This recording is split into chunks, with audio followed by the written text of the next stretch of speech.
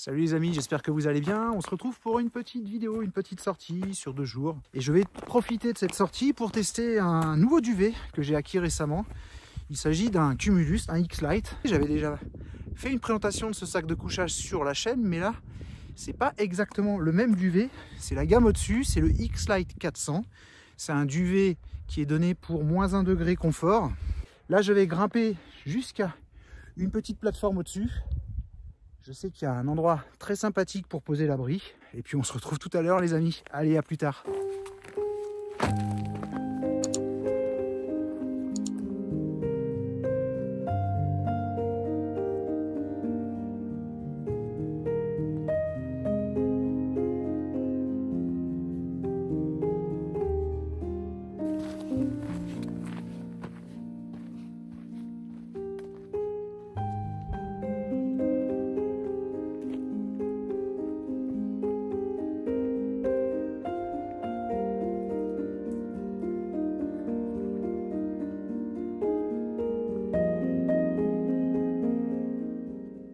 Me suis un petit peu trompé de, chemin. Là, j'ai récupéré le sentier. On va aller retrouver cette petite plateforme très sympathique avec une, une vue sur le plus haut sommet du coin, qui est pas très haut, hein, puisqu'il culmine à, à 1500 et quelques mètres. C'est la cime de Roca Sierra, si je dis pas de bêtises, Roca Sierra, Roca Stera.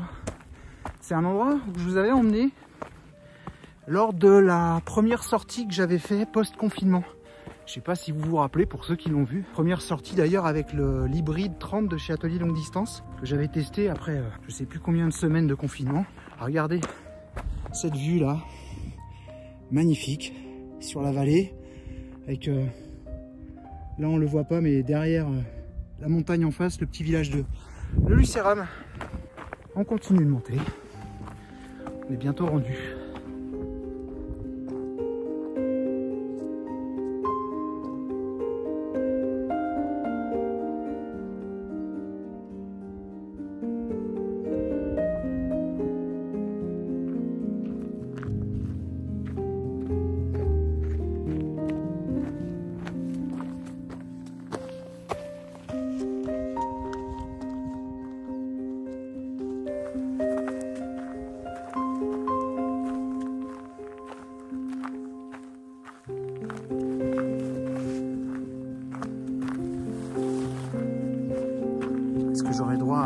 Cette année ici dans le coin Rien n'est moins sûr. Hein.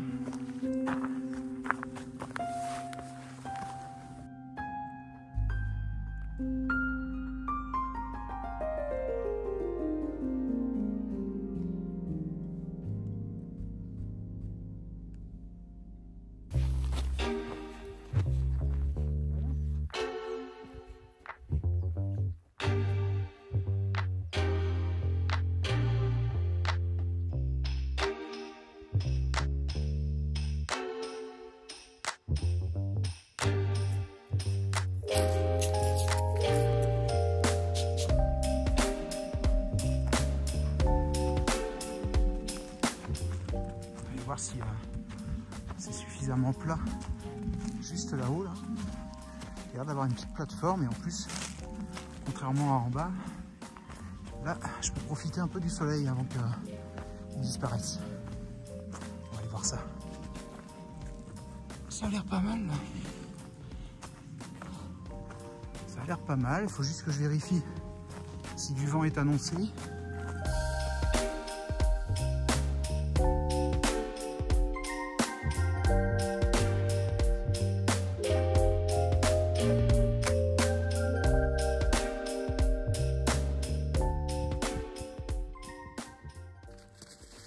va planter le bivouac de suite. Hein.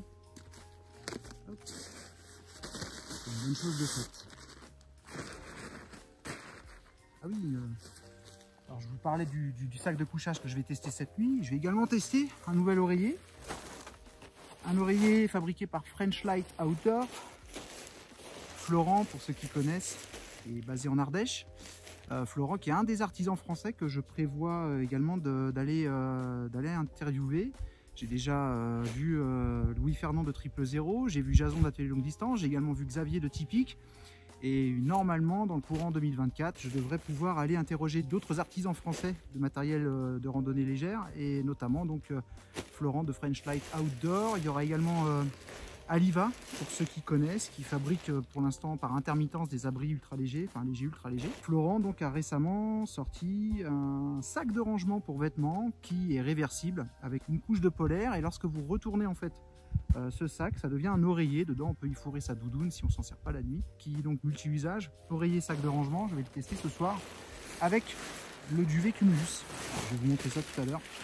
L'occasion de, bah, de voir si euh, c'est plus confortable que l'oreiller gonflable que j'utilise jusqu'à présent. Jamais très évident de jauger euh, si le terrain est plat ou pas.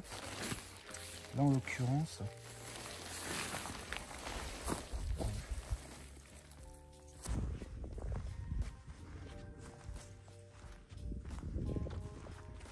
va être sympa ce soir.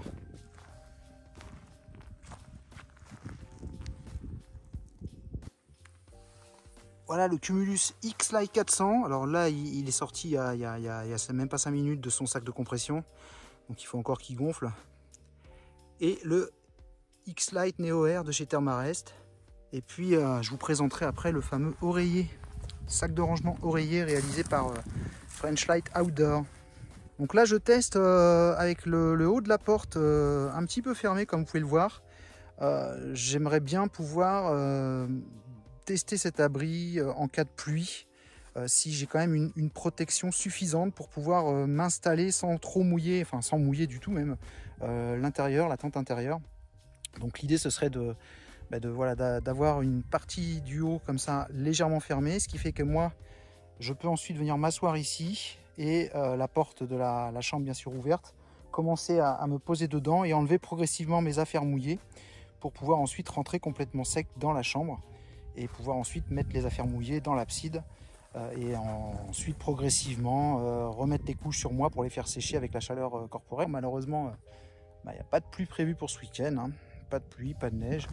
Et vous voyez, ici, là, dans les Alpes-Maritimes, on a pas grand chose. Hein. On voit les, tout au fond, vous voyez les sommets, euh, les premiers sommets du Mercantour, qui sont pas très hauts, hein, mais euh, il y a vraiment plus grand chose. Là, tout a bien fondu. On n'a pas la chance qu'ont euh, ceux qui vivent dans les Alpes du Nord, ici.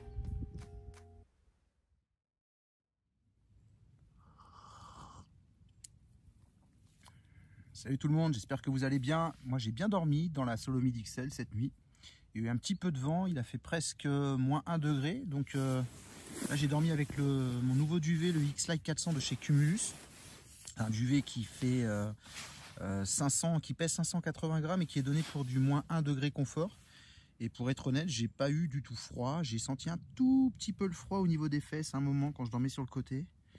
Mais euh, je pense que c'est juste parce que j'ai pas bien bien réparti le duvet dans les chambres. je pense que je peux descendre un petit peu plus bas. Et puis j'ai également testé un, oreiller, enfin un sac de rangement convertible en oreiller. Je le retrouve. C'est un sac, vous voyez, dans lequel je mets moi mes affaires de couchage. Donc je me suis même pas servi d'ailleurs cette nuit. Hein. mon ensemble en mérinos, les gants, etc. Et c'est un sac qui, se, qui est réversible. Et quand vous le retournez, il y a une des faces qui est en polaire et ça permet d'avoir un oreiller, un, sac multi-usage, un objet top pour la randonnée légère. C'est un sac qui est, fabriqué avec des tissus qui sont imperméables. Par contre, les coutures elles-mêmes ne sont pas étanches. Si vous avez déjà euh, un sac un sac à dos résistant à l'eau ou voire carrément étanche, il euh, n'y a pas de souci à se faire. Vous voyez la couleur se marie bien avec le, sac de couchage, avec le cumulus. Et je me suis décidé à repartir en fait sur un, sur un sac en duvet. Pourquoi? Principalement pour le volume. Je suis toujours aussi fan de ma couette Perlwick euh, en Apex 200. Je suis sur du 5 litres à peu près, bien compressé. Sur la couette euh, en Apex 200, euh, on est sur 10 litres, voire plus. Donc c'est du simple double. 5 hein. litres, c'est énorme. Dans le sac à dos, ça fait quand même une grosse différence. J'ai également une couette en Apex 100 de chez Enlightened Equipment qui va me permettre de booster le sac l'hiver, qui fait 4 litres et qui fait dans les, dans les 400 et quelques grammes. Donc l'ensemble normalement devrait avoisiner le kilo, être en dessous du kilo, juste en dessous le kilo, et euh, va me permettre de pouvoir aller jusqu'à moins 10, avec l'avantage d'avoir du synthétique en première couche, ce qui fait que euh, la condensation va, se retrouver plus dans l'apex que, dans le, que dans le duvet, qui sera en dessous. Et puis l'avantage aussi d'avoir une couette euh, en apex 100, c'est d'avoir une couette assez légère. si j'utilisais l'Apex 200 avec ce sac-là, l'Apex 200 est quand même beaucoup plus lourd et viendrait donc écraser les chambres et chasser l'air. Et comme on sait que c'est l'air hein, qui fait l'isolant, quand on utilise un système avec deux sacs de couchage pour l'hiver, l'idéal étant d'avoir donc euh, un duvet, un synthétique pour euh, mixer les avantages des deux. Et euh, notamment ce que je vous disais au niveau du point de rosée de la condensation, d'avoir le synthétique au-dessus pour que ce soit le synthétique qui emmagasine la condensation, l'humidité la nuit et non pas la plume et également d'avoir un synthétique relativement léger pour ne pas écraser justement les chambres de duvet lorsqu'on va le poser sur le sac afin que l'air puisse rester emprisonné et emmagasine la chaleur corporelle. Voilà, c'était euh, le petit cours du matin, du dimanche matin. Moi, je vais continuer à boire mon petit café tranquillement avant de plier le camp, les amis. Et puis, euh, bah, je vous dis à plus tard. Ciao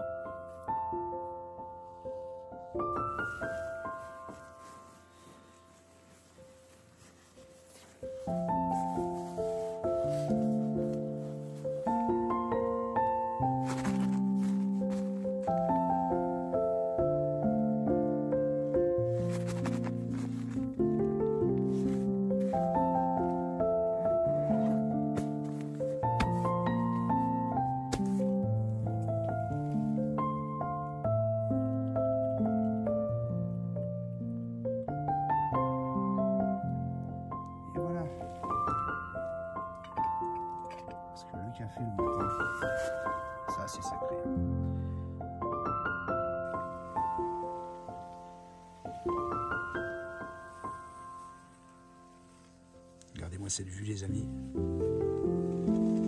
Et la température, 2,5 degrés ce matin.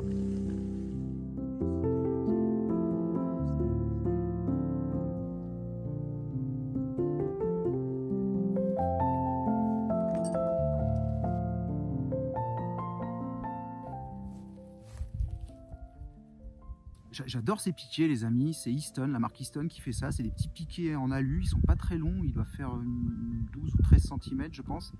Euh, c'est la version nano. Je ne sais pas si ça se fabrique encore, enfin si ça se commercialise encore.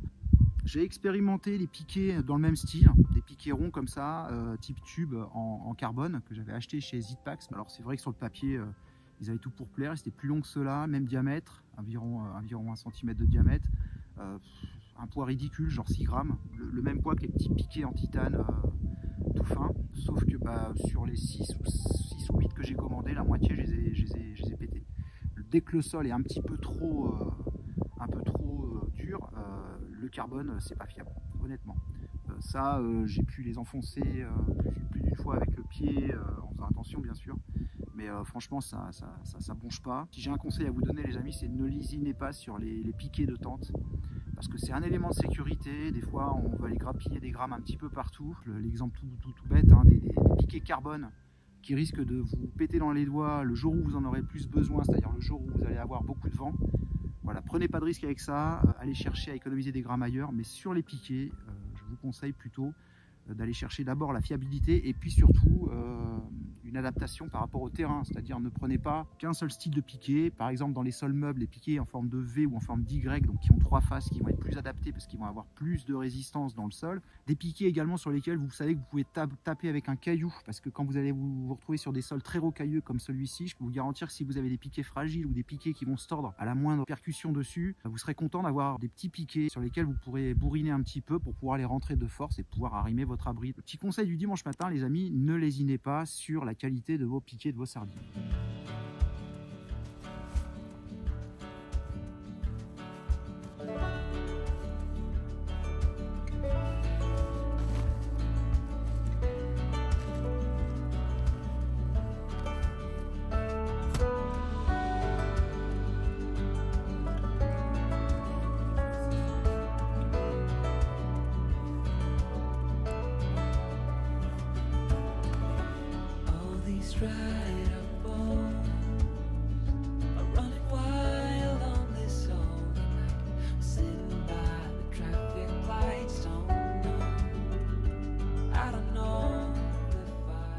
amis, ça y est, cette petite sortie est terminée. Je vais rentrer tranquillement chez moi.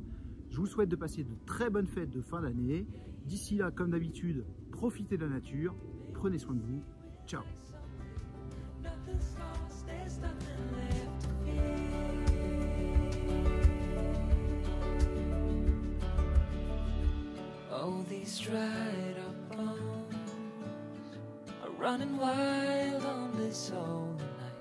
sitting by the traffic light zone. I don't know